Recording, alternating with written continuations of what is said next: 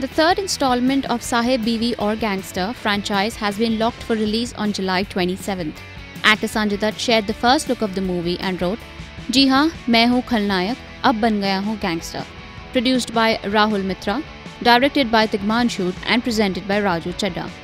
Sanjay also shared a still from the film. In the photograph, he is seen sitting with a gun in front of a table which has a couple of filled-up shot glasses. The first installment of Saheb Biwi Aur Gangster was released in 2011 and starred Jimmy Shergill, Mahi Gill, and Randeep Hooda. The film revolved around a royal family of Uttar Pradesh.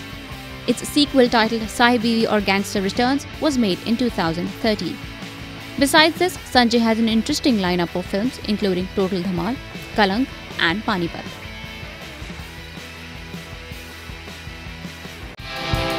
Subscribe to our channel, just click on the bell icon for all the latest updates.